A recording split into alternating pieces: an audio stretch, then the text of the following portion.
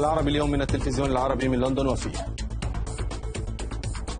العصيان المدني في السودان يدخل يومه الثاني والسلطات الأمنية ترحل قيادات من الحركة الشعبية إلى جوبا. وزير الخارجية الألماني يقول من طهران برلين ولندن وباريس ستتمسك بالتزاماتها بموجب الاتفاق النووي. مقتل ستة مدنيين في قصف النظام السوري وروسيا مناطق خفض التصعيد. والأمم المتحدة تحذر من موجة لاجئين جديدة تقدر بنحو مليوني شخص في حال استمر الهجوم على إدلب. إغلاق باب الترشح لخلافة تيريزا ماي والخروج من الاتحاد الأوروبي على رأس أولويات المترشحين.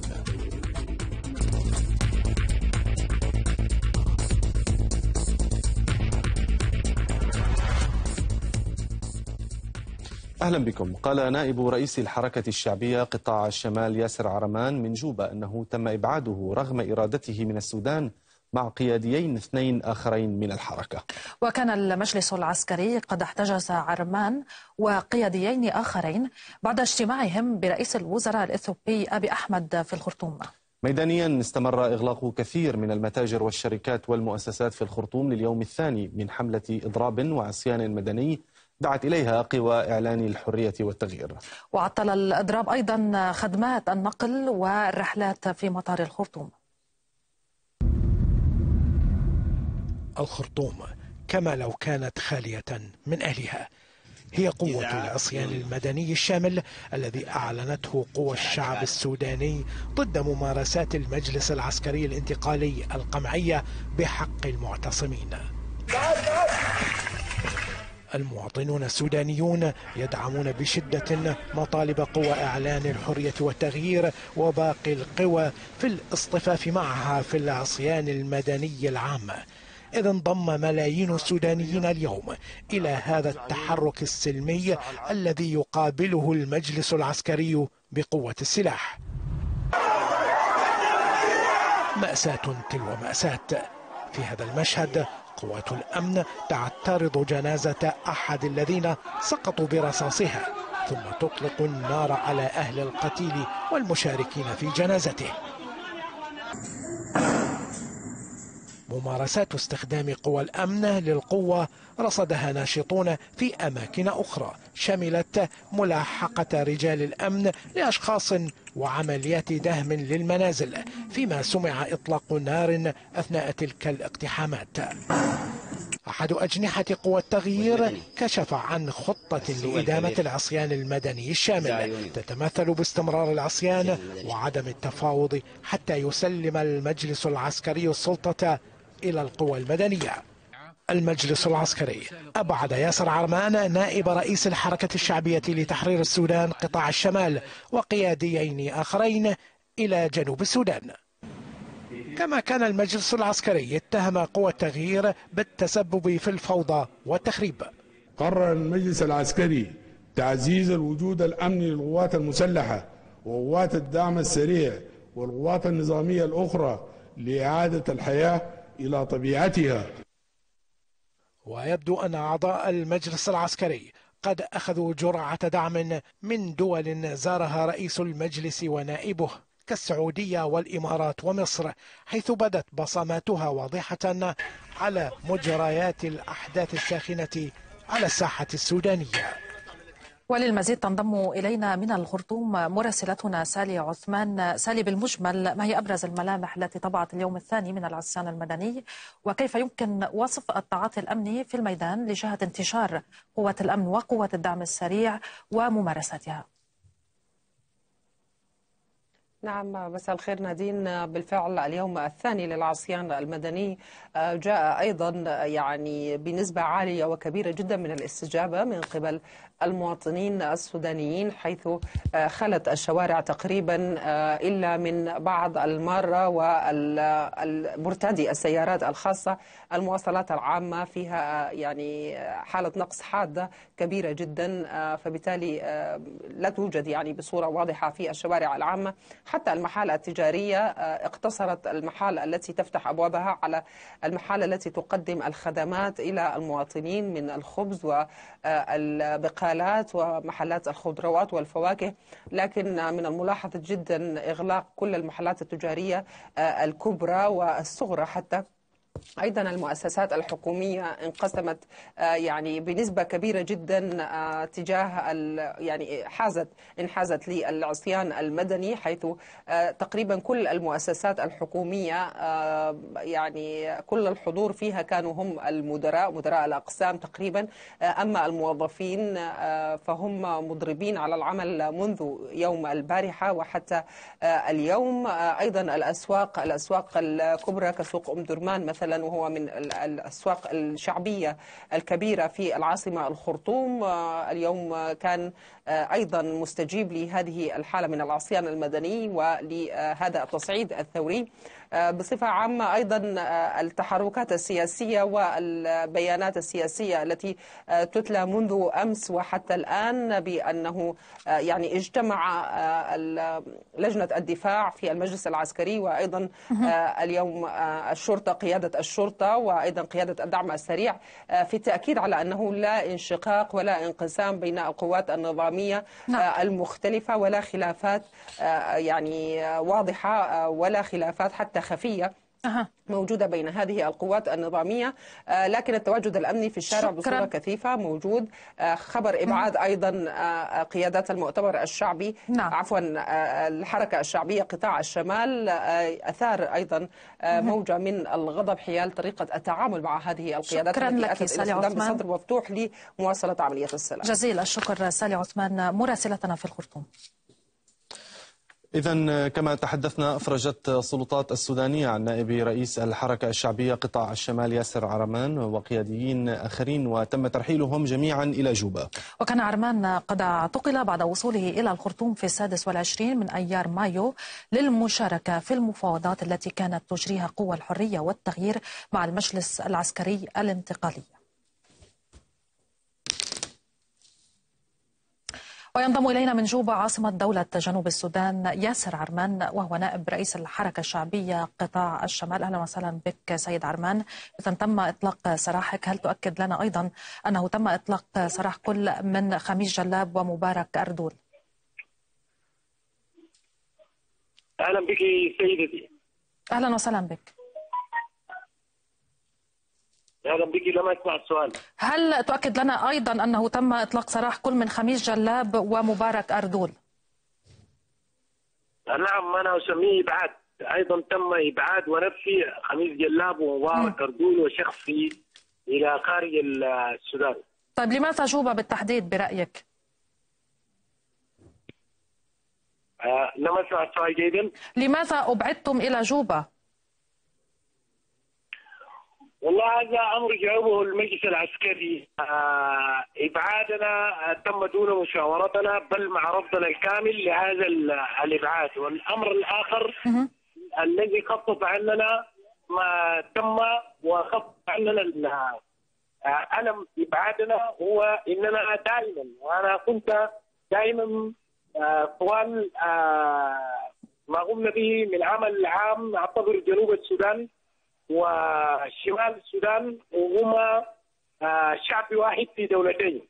وعملنا دائما بعلاقه استراتيجية بين الجنوب والشمال. ووجدنا حفاوه وترحيب من رئيس جنوب السودان ومن حكومة وشعب في جنوب السودان. وجنوب السودان احتل دائما نفس المكانه في قلبي وعقلي. باستمرار. وهذا ما خفف ألم نفينا من السودان. طب قبل أن يتم استبعادكم إلى جوبا هل اتضحت لكم أسباب الاعتقال وهل خضعتم للتحقيق؟ لم نخضع للتحقيق ولكن أنا التقيت بعدد من ضباط الأمن والاستخبارات الذين كانوا في حوار دائم معي وأوضحت لهم بوضوح وجهة نظري في الوضع السياسي الحالي وإننا دائما سنقف مع شعبنا هم كان هنالك جزء من جهات نافذ تتخوف من وجودي مع قوى الحرية والتغيير وقدره الحركة الشعبية على الوصول إلى تفاهمات بين قوى الحرية والتغيير. ونحن كنا نقول لهم إن الأمر الاستراتيجي هو أن أن يتعاملوا مع قوى سياسية موحدة. هذا مهم لمستقبل نعم. السودان. ولمستقبل التفاهمات طيب سيد ياسر تتحدث عن آه، هذه عن ضباط آه، ربما آه، يعني تبادلت الحديث معهم من هم هؤلاء الضباط؟ والله أنا لأسباب كثيرة لا لا أريد لأنهم كثير منهم تحدثوا معي ليس بصفاتهم الرسمية أو بأنه طلب منهم رسميا كثير منهم وهم غلقون على مستقبل ال- السودان وغلقون على الوضع السياسي الحالي. لأن الوضع السياسي الحالي السودان يمر بمنعطف آه طرق وأنا أقدر آه النقاشات التي يجروها معي. وأنا أحب أن أقول عبر آه، هذه المقابلة إنني تعرضت في البداية لتعامل سيء. ساتحدث عنه لكن حينما اعتقلت مع الاستخبارات العسكرية لمدة 12 ساعة. ثم بعد ذلك في آه، آه، مغر جهاز الامن الذي يسمى الفندق. آه، أو أو العمارة. تعامل معي الضباط جميعهم بشكل جيد. ولكن أنا أشارك الكثير من السودانيين حول دقه هذا الوضع وموقفنا دائما سيكون مع السودان. طيب يعني أنت ولكن أنت نعم سيد ياسر أنت تتبنى هذا الموقف ولكن مع الاستبعاد إلى جوبا هل ظروف يعني الاستبعاد ربما أرفقت ببعض الإملاءات والتهديدات المعينة؟ لا أحد يستطيع أن يهددنا صح هنالك رسائل أرسلت لنا عديدة ونحن حياتنا كلها لم تكن خالية من المصاعب. ولا نتقبل ال- التهديدات ما يحزننا هو قتل آه، عشرات الشباب الشهداء آه، في ميدان الاعتصام وفضل الاعتصام بالقوة وهو جريمة. وكذلك آه، ما يحزننا هو ابعادنا لكن ابعادنا لن يجعلنا غاضبين. سنتعامل مع هذا الوضع برؤيه وحكمة وسنقف مع قوى الحرية والتغيير يعني كيف؟ ستحدد لنا الاتجاه وال- الحكمة ما الذي تقتضيه يعني في المرحلة الراهنة هل ست- ستطالبون بالضغط للعودة آه، إلى السودان ما هي الخيارات أمامكم؟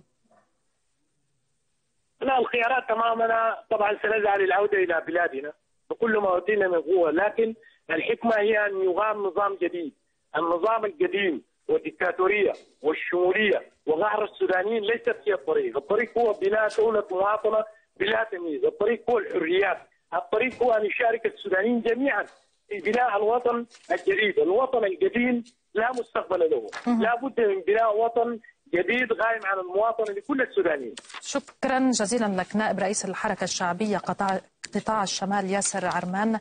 إذا متحدثا إلينا من جوبا. تجمع العشرات من السودانيين أمام السفارة السعودية بباريس منددين بما أسموه تدخل الرياض وأبو ظبي ونظام السيسي في شؤون بلادهم الداخلية ورفع المتظاهرون يافطات مستهجنة للدعم الذي يتلقاه المجلس العسكري في السودان من هذه الدول الثلاثة جينا اليوم هنا عشان نحتج. عليه تدخل التدخل السعودي في السودان رسالتي للمملكة السعودية. توقف أي دعم للمجلس الانتقالي أو الانقلابي. اليوم أعطينا هنا في أمام سفارة سعودية في باريس فالسعودية يتدخل في. في الشؤون السودانية. يقوم بتسلية الميليشيات الجنجويد والجماعات الإرهابية. والسعودية هو السبب المباشر في التدخل في شؤوننا. ونحن قادرين دولتنا على شؤوننا. ونحن نهيل مشاكلنا بالذات. ولا يتدخل علينا سعوديين لا مصريين لا أماراتيين. هم السبب في كل الدول في البلاد العربية. هم الازمه الأساسية. يعني الآن نحن نعاني يعني من من التدخلات الخارجية من القتل والاغتصاب في جميع الدول في في جميع الاقاليم السودانية. ولذلك إننا آه نتضامن مع شعبنا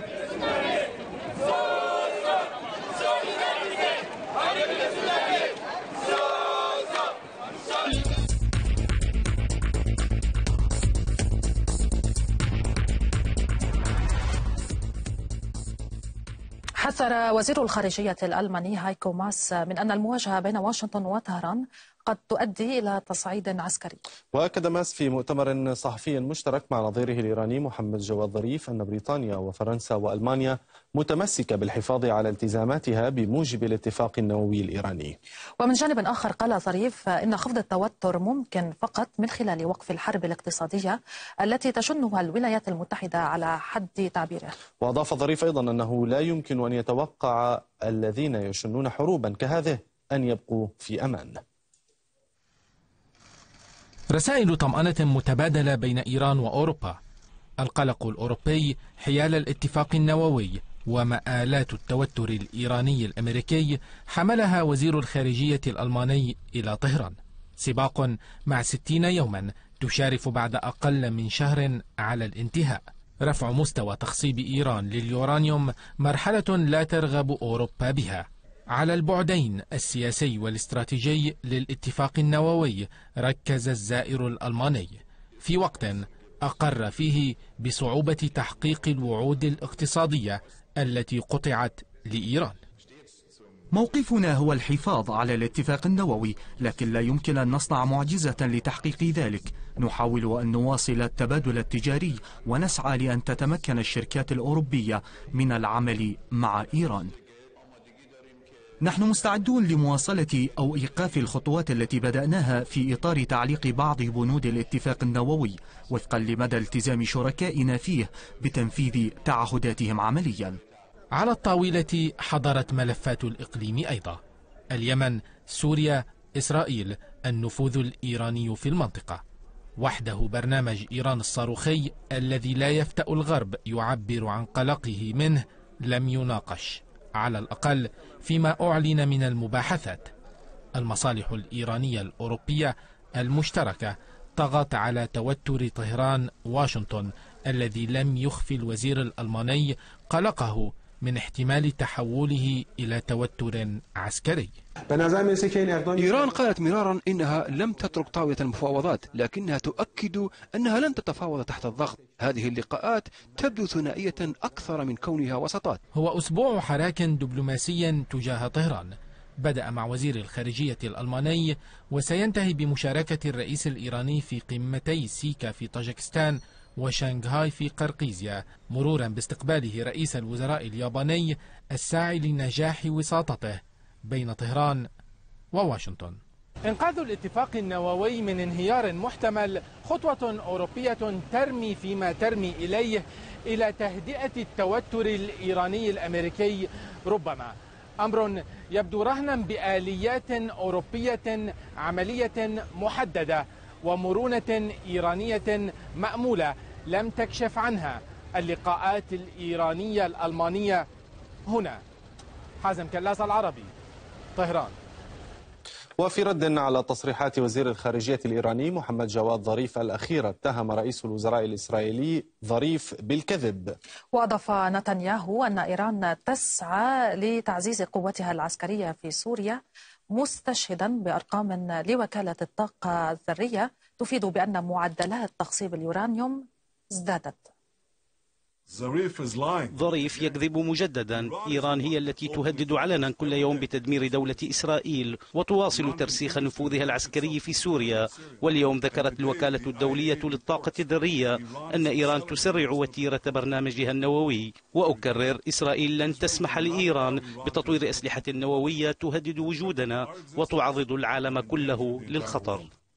ومن جانب آخر قال يوكيا آمانو مدير عام الوكالة الدولية للطاقة الذرية إن إيران نفذت تهديدها المتعلق بزيادة معدل إنتاجها من اليورانيوم المخصب وأعرب أيضا آمانو في مؤتمر صحفي عن قلقه من زيادة التوتر المتعلق بالاتفاق النووي أملا بإيجاد طرق تخفف حدة هذا التوتر. وحدد الاتفاق النووي الإيراني الموقع من قبل قوى عالمية حدا أقصى لكمية اليورانيوم منخفض التخصيب الذي يسمح لإيران بإنتاجه.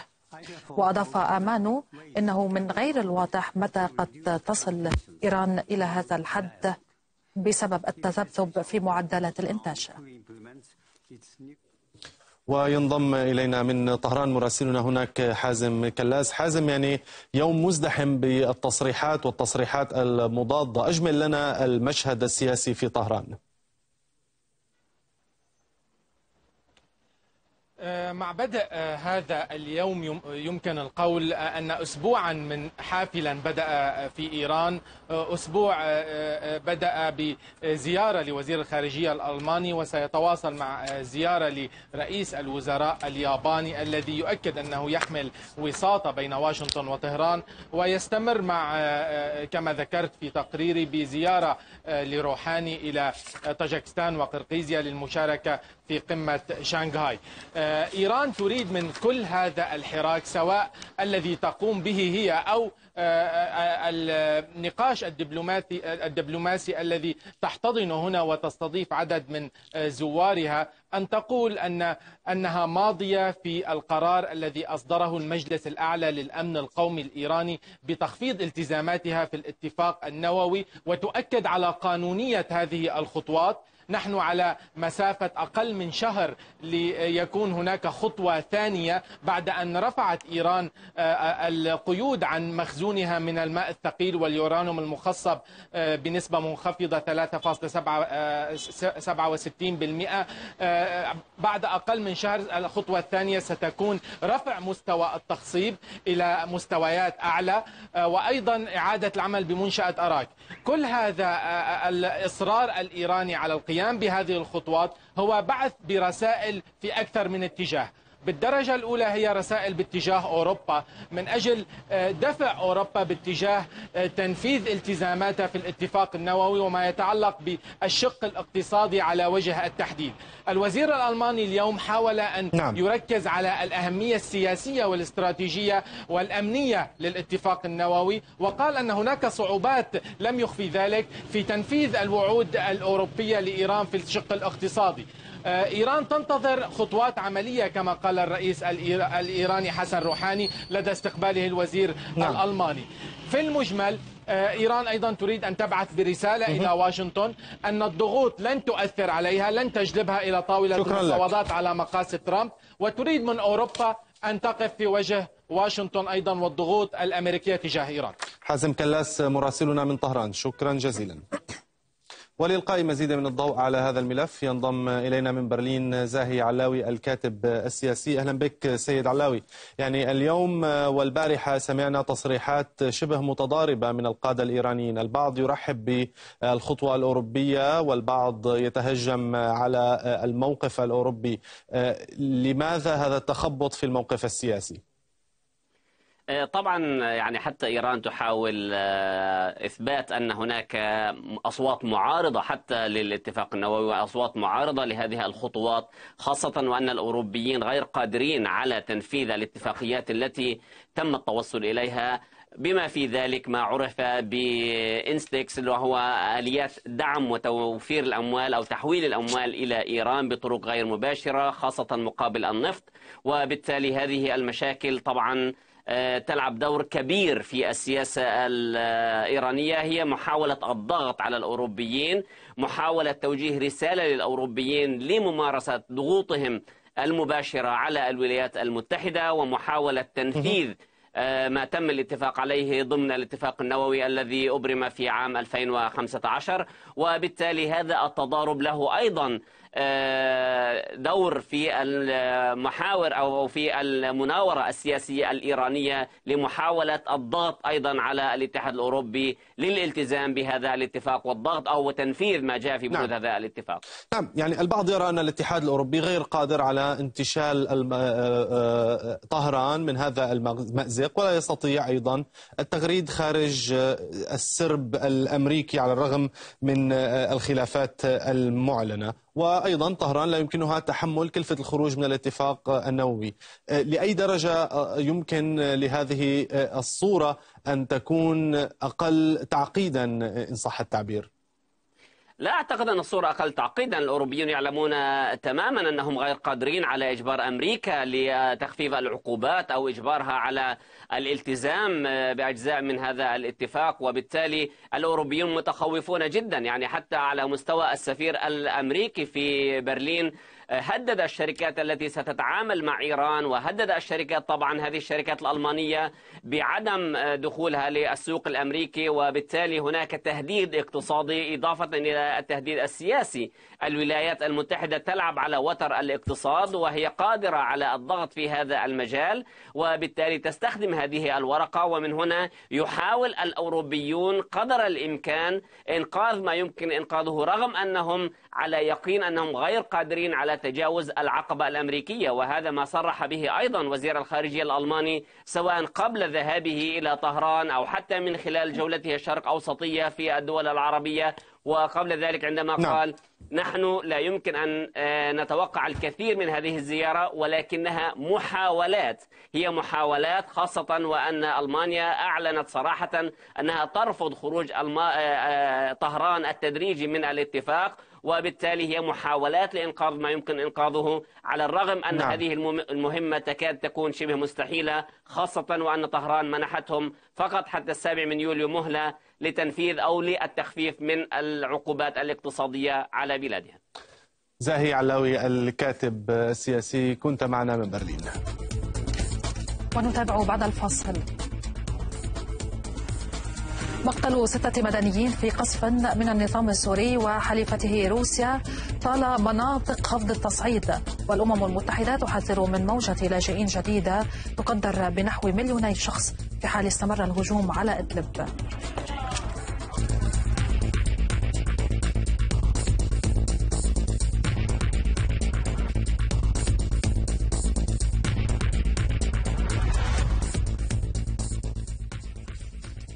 أهلا بكم من جديد. لقي ستة مدنيين حتفهم وأصيب عشرات آخرون نتيجة غارات جوية لقوات النظام السوري على محافظة إدلب. واستهدفت غارات سورية بلدة معرشورين وقرية كفر بطيخ جنوبية إدلب.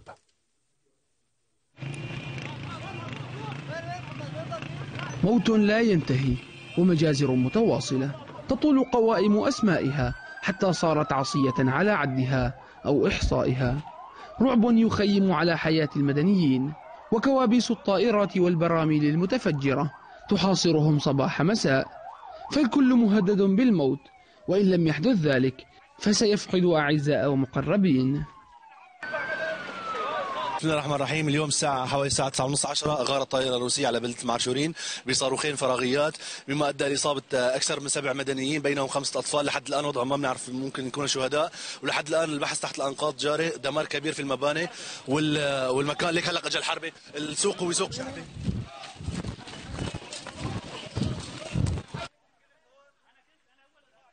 الصواريخ تناثرت هنا وهناك ولا مكان آمنا بعد اليوم.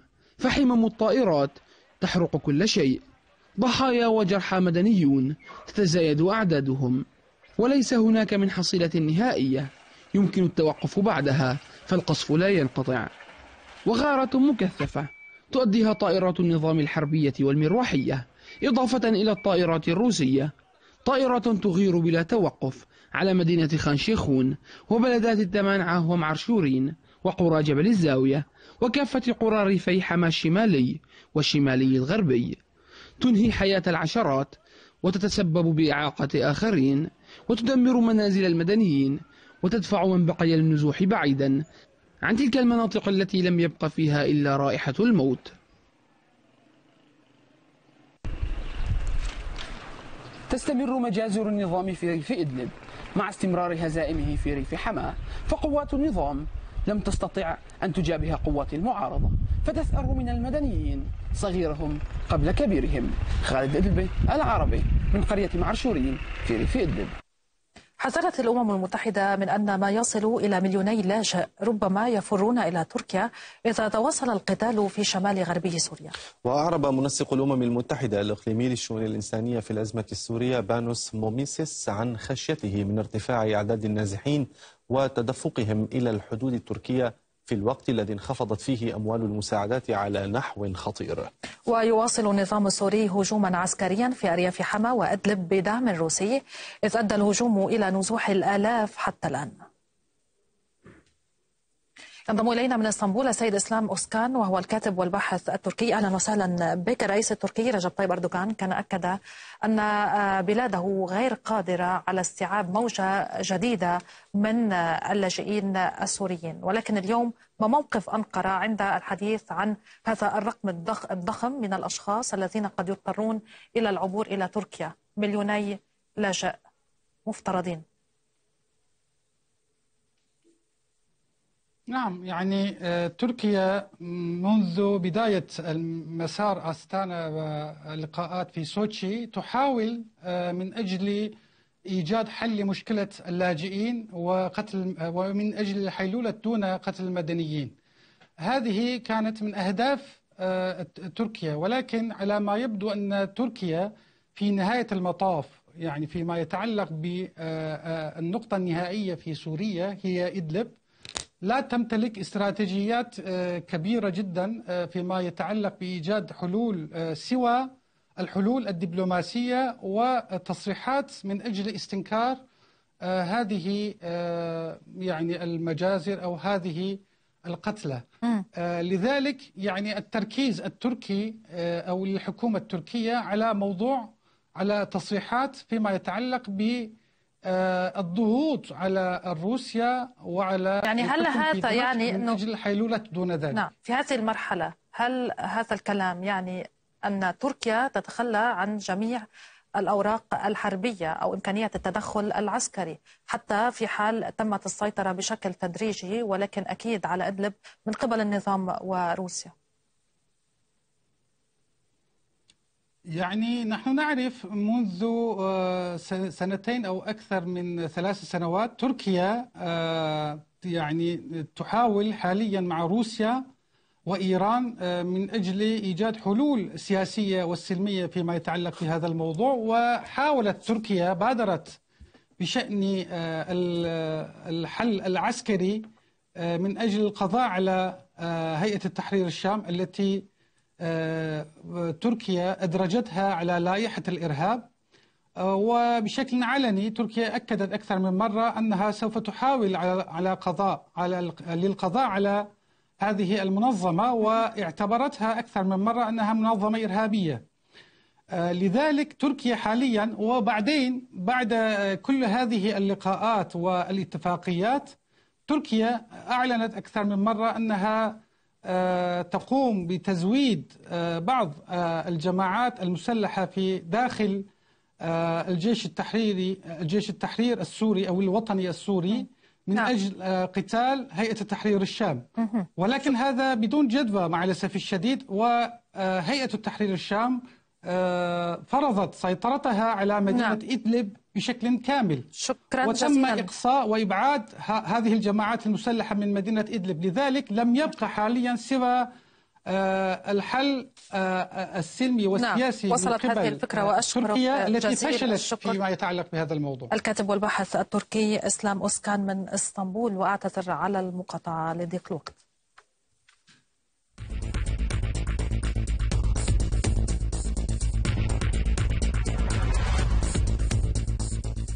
بدأ السباق لخلافة رئيسة الوزراء البريطانية اليوم بتقديم نحو عشرة سياسيين محافظين لأوراق ترشحهم لتولي رئاسة حزبهم. ويواجه حزب المحافظين ضغوطا صعبة ترتبط بعدم قدرة ماي على تنفيذ البريكسيت بعد ثلاث سنوات على الاستفتاء. على إرث بريكسيت يتنافسون. باب الترشيحات أقفل اليوم. وسباق المرشحين إلى الباب رقم عشرة انطلق. نحو عشرة سياسيين محافظين يترشحون لخلافة رئيسة الوزراء تيريزا ماي. على رأسهم وزير الخارجية السابق بوريس جونسون. الأوفر حظا بحسب مراقبين. يدخل جونسون الصراع لرئاسة الحكومة باستراتيجية شبه مماثلة لشبيهه ترامب. يتوعد بعدم دفع فاتورة بريكسيت في حالة عدم موافقة الاتحاد الأوروبي على شروط أفضل للانسحاب ويقترح توديع الاتحاد في الحادي وثلاثين من أكتوبر سواء أبرم الاتفاق أم لا. أسماء أخرى تتصدر المشهد. دومينيك راب وزير ملف بريكسيت السابق أحدهم.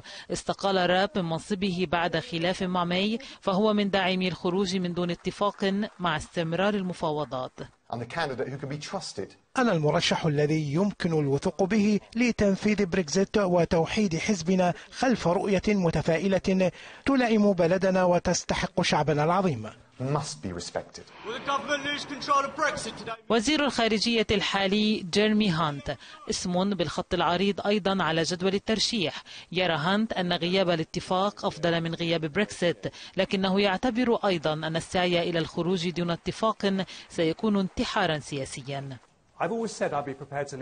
قلت دائما إنني مستعد للمغادرة دون اتفاق. إذا خيرت بين عدم الاتفاق وعدم الخروج من الاتحاد الأوروبي لكنني سأقوم بذلك بأسى بسبب المخاطر التي تعرض لها الشركات. ولن أفعل ذلك إذا كان هنالك أمل من أن يحظى الاتفاق بدعم من البرلمان. وضمن المرشحين أيضا وزير البيئة مايكل جوف أحد مؤيدي بريكسيت في حكومة ماي والذي يتوقع أن يتبع خطاها في حال فوزه.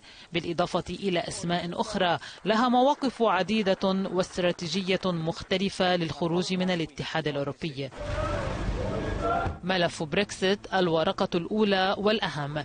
لكل مرشح محافظ يحاول اليوم أن يخلف ماي غير أن الأخيرة لم تترك لخلفها حملا خفيفا. فقد يواجه رئيس الوزراء الجديد العقبات نفسها.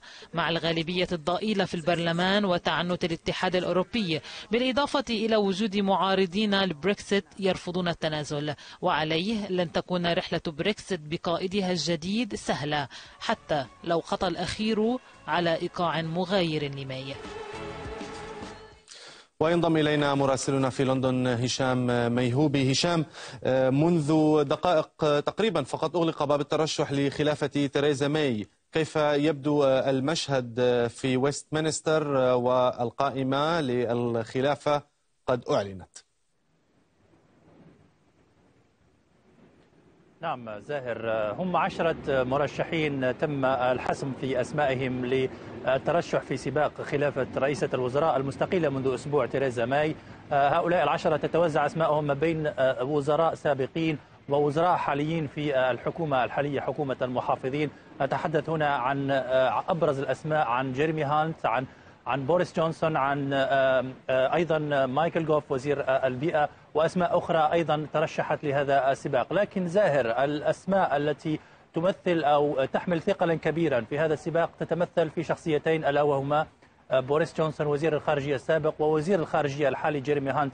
هاتان الشخصيتان الآن تمثلان تمثلان ربما الأكثر الشخصيات التي نعم. يبدو أننا فقدنا الاتصال بمراسلنا هشام ميهوبي وسط لندن. شكرا جزيلا لك هشام. ولإلقاء مزيد من الضوء على هذا الملف ينضم إلي في الاستوديو جوناثان ليس الخبير في الشؤون البريطانية. أهلا بك سيد جوناثان. يعني بالتأكيد ألقيت نظرة سريعة على القائمة التي نشرت من حوالي 35 دقيقة لآخر المترشحين. كيف تقرأ هذه القائمة؟ This list is هذه القائمة. a damning indictment of the uh, state of British politics, I'm uh, afraid. There is مهمة للغاية للسياسة البريطانية. لا يوجد أحد في هذه القائمة في الحقيقة يمثل خيار أفضل من تريزا ماي من يكون رئيس وزراء لائق. المرشح الأول في هذه القائمة يجب. أن يتحلى بالبراغماتية. to البريكزيت. وليس The لديه أي فرصة للاستمرار لأن حزبه غير مهتم بالبراغماتية. هل تعتقد أن بريطانيا بقائمة المرشحين هذه أيا كان من سيصل لكن آه، يعني المراقبين يقولون بأن بريطانيا تتجه من أو حزب المحافظين الحاكم أيضا يتجه من يمين الوسط ليصبح أكثر يمينية. لأي درجة هذا هذه النظرة صحيحة Well, نعم. it's correct in the هذه وجهة نظر هذه صحيحة بمعنى أن العناصر آه، أقصى. اليمين فيها الحزب في صعود حسب ما نلاحظ حينما ننظر إلى البريكزيت. فسوف نلاحظ أن هناك كتلة كبيرة تؤيد الخروج بدون بدون اتفاق. على الرغم من وجود آخرين مترددين في هذا الخيار. كذلك الغالبية ترجح وتؤيد خيار الخروج بدون اتفاق. أيضا هنالك محافظون متشددون من قبيل جونسون يعدون بالخروج بدون اتفاق وهذا قد لا نعم أود أن أسألك أيضا عن أحد المرشحين ساجد جافيد وزير الداخلية. هو من أصول مسلمة وأثبت يعني حضورا كبيرا على الساحة السياسية البريطانية خلال المرحلة القادمة. هل تعتقد أن لديه حظوظ بالوصول إلى رئاسة الوزراء نظرا لتصاعد حدة يعني اليمين في أوروبا وفي بريطانيا على وجه الخصوص.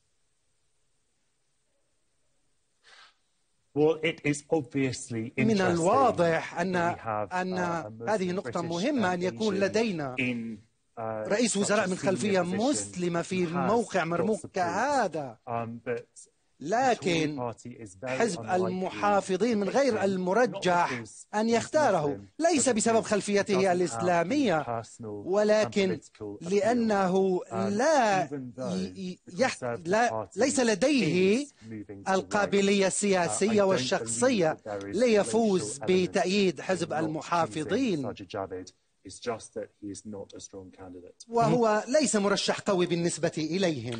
أود أن أسألك أيضا عن ملف المهاجرين بالإضافة لملف البريكزيت وملف الضرائب. ملف المهاجرين حاضر بقوة لا سيما يعني على طاولة بوريس جونسون مالئ الدنيا وشاغل الناس كما يعلم الجميع. لأي درجة سينعكس وصول بوريس جونسون لسدة الحكم على وضع المهاجرين الذين يشكلون عددا كبيرا من السكان في بريطانيا؟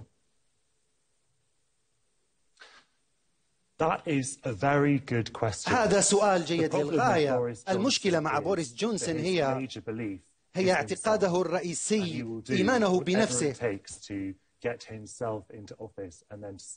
وسوف بوصوله إلى الوزارة يعتقد أن هناك من سيدعمه في الضغط على المهاجرين واتباع سياسات أكثر صرامة إزاء الهجرة. ونحن نعلم تعليقاته الأخيرة بإزاء النساء المسلمات. إذا وجد أن هنالك من يدفعه ليكون أكثر ليبرالية فسوف يتغير. شكرا جزيلا لك جوناثان ليس الخبير في الشؤون البريطانية على هذه الإضاءة شكرا. إذا العرب اليوم مستمر وفيه بعد الفاصل. مقتل نحو 100 شخص في مالي والسبب اشتباك بين رعاة وصيادين من عرقيتين مختلفتين.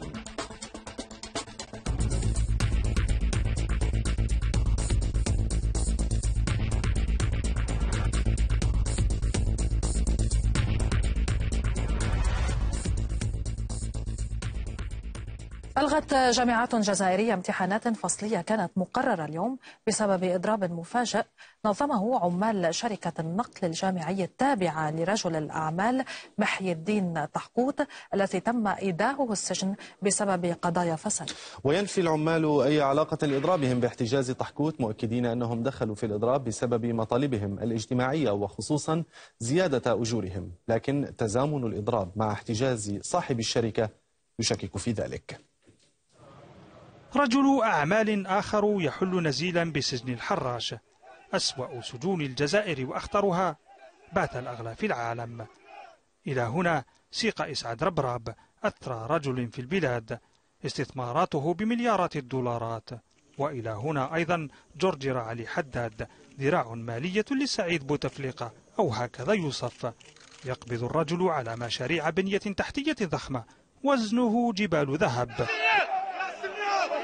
منذ الأيام الأولى لاستقالة بوتفليقة بات محتجزا مع منحرفين ومجرمين. قضية الإخوة كونيناف. كونيناف عائلة جزائرية سويسرية ثرية استثماراتها ضخمة فنادقها فاخرة وثلاثة من أبنائها الأثرياء باتوا هنا ينامون في سجن يدخله معدومون وبؤساء.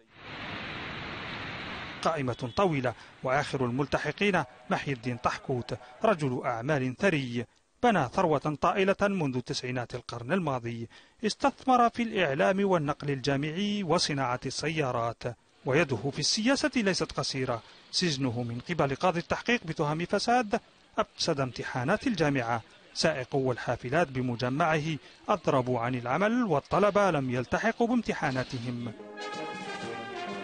هي السياسة في الجزائر على بساطتها معقدة مفخخة وهناك من بات يتهم نظام بوتفليقة وشقيقه الذي حكم من وراء الستار.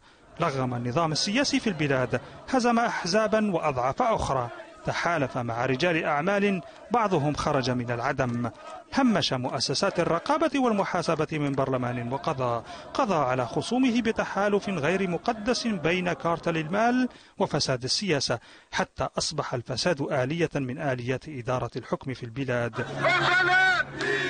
يكرم الموالون بالمال والصفقات ويحرم المناوئون.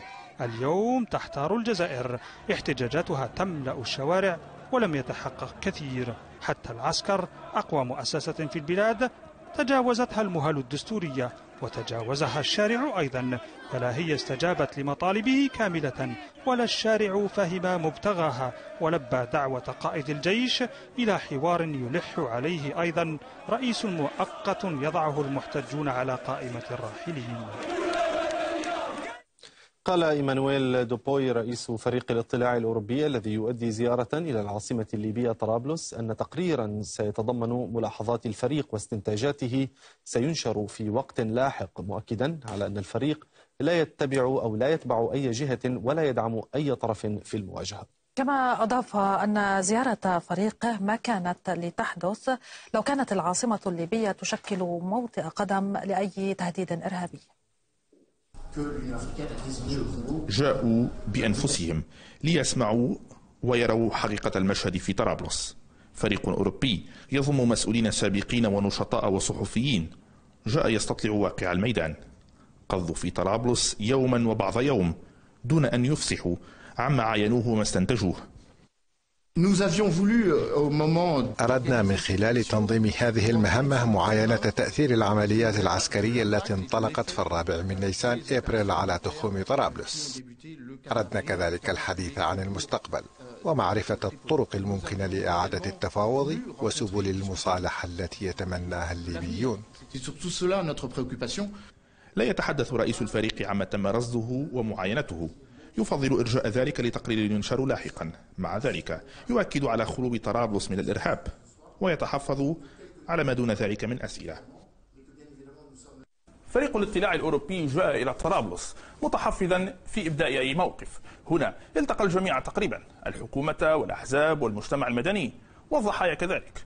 وغادر مستعجلا ومتحفظا تماما مثل ما جاء. Messages like this will be very confusing. حراك الداخل في ليبيا.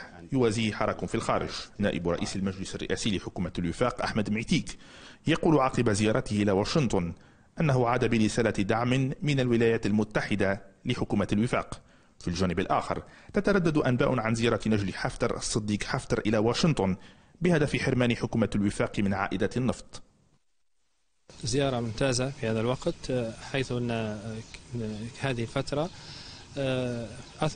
أتت بثمارها لدى حكومة الوفاق الوطني آه، في الشق السياسي بالضغط على البيت الأبيض أن يضغط على الدول العربية الداعمة لمجرم حرب خليفة حفتر مثل الإمارات ومصر بعدم دعم هذا الشخص.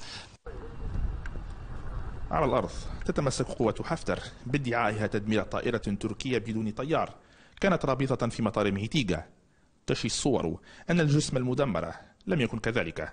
تتمسك قوة حفتر بروايتها تلك بينما لا تتوقف هجمة الكر والفر بينها وبين قوات حكومة الوفاق. آخرها كانت في محور الرملة قرب مطار طرابلس. لا تغير الهجمات والهجمات المضادة في موازين القوى بين الطرفين شيئا. مواجهات يقول مراقبون بأنها لا تعد أن تكون حركات تسخينية لصدام وشيك وشديد. خليل كلاعي العربي.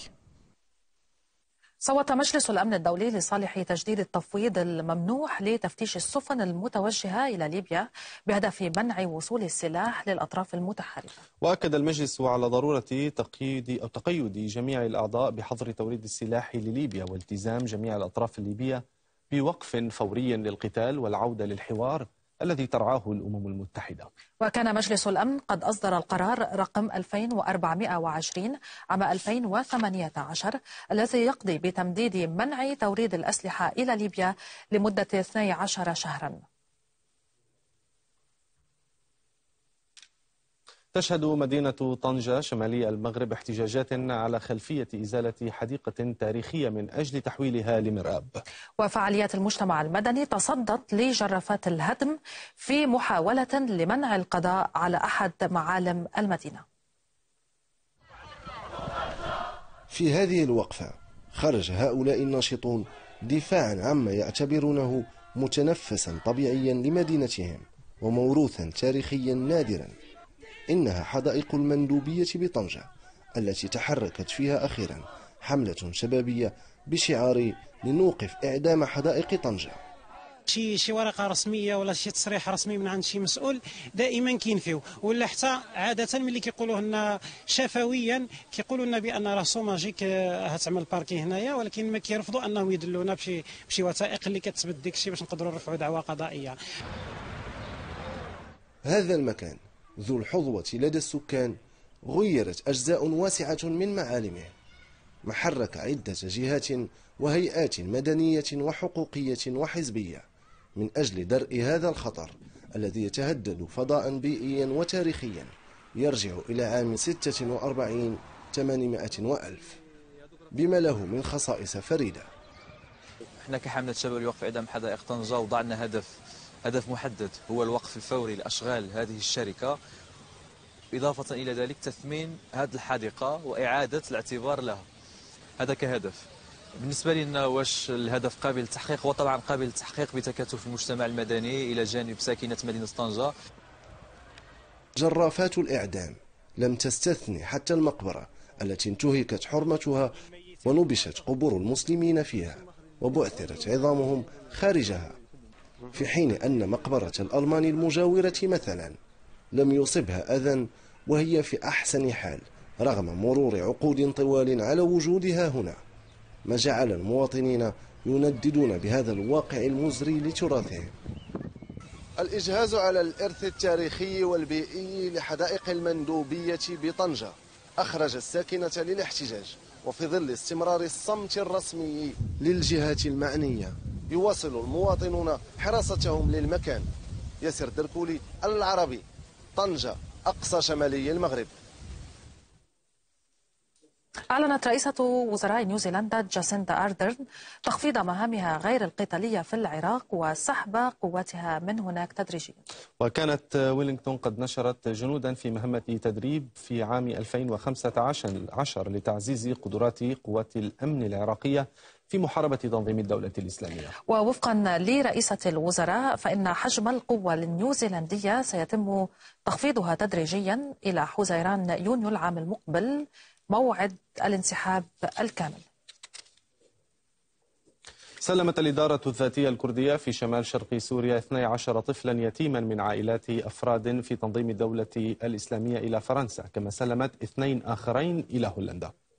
وقال مسؤول كردي أن عملية التسليم تمت إلى وفد من وزارة الخارجية الفرنسية في بلدة عيسى شمال سوريا بناء على طلب من السلطات الفرنسية. ويشكل المواطنون الأجانب من جهاديين وأفراد عائلات عبئا على الأكراد. وأحد أبرز التحديات التي يواجهها الإقليم منذ إعلان القضاء على تنظيم الدولة الإسلامية. أدى نجرفان البرزاني اليمين الدستورية رئيسا لإقليم كردستان بعد انتخابه من قبل برلمان إقليم شمال العراق. وهذه هي المرة الأولى التي يتم فيها انتخاب رئيس الإقليم داخل قبة البرلمان إذ كان الأكراد ينتخبون رئيسهم عبر اقتراع مباشر. وحضر المراسم الرئيس العراقي برهم صالح ورئيس مجلس النواب محمد الحلبوسي فضلا عن سياسيين ورجال دين عراقيين. أقسم بالله العظيم أن أحافظ على حقوق ومصالح ومكتسبات شعب إقليم كردستان ووحدته وأنفذ واجباتي الوظيفية بصورة صحيحة وفعالة. والله الموفق. قتل نحو 100 شخص في مالي في أحدث مذبحة تزعزع الاستقرار وسط البلاد. ولم تعلن أي جهة مسؤوليتها عن الهجوم الذي وقع في قرية تابعة لقبيلة الدوغون العرقية. وتأتي مذبحة الأخيرة بعد مذبحة أكبر في قرية تابعة لقبيلة الفلانية في مارس أذار الماضي واتهمت بها قبيلة الدوغون.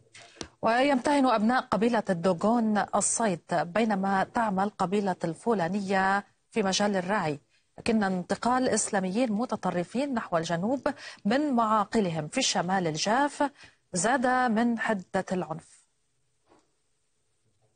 قال المستشار الأمني للرئيس الأفغاني حمد الله مهيب إن المبعوث الأمريكي الخاص إلى أفغانستان زلماي خليل زاد فشل في المحادثات مع حركة طالبان. وأشار إلى أن الحركة لا تملك المال الكافي للسفر إلى دولة أخرى من أجل إجراء محادثات السلام. من جانبه أشار زاد, زاد إلى أنه من المتوقع أن يلتقي بمسؤولي طالبان في قطر خلال الأيام المقبلة وأكد أهمية التقاء الباكستانيين لحل الأزمة الأفغانية من جذورها. ونختم العربي اليوم من بفيديو من منصتنا على مواقع التواصل الاجتماعي أنا العربي. وفيديو اليوم حول حملة في اليابان ضد معايير اللباس الخاصة بالنساء في أماكن العمل.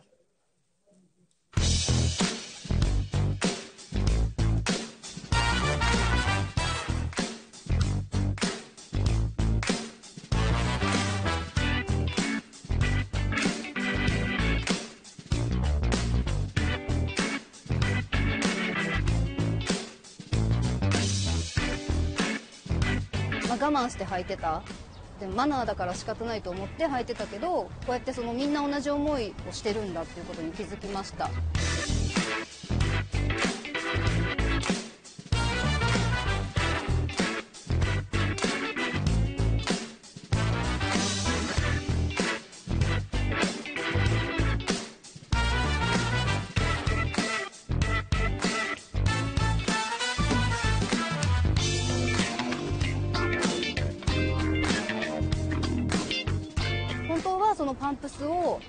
ない業界で働きたかったけど自分はパンプスとかヒールが履けない足だからその職業は諦めたっていう方とかもすごく多かったです。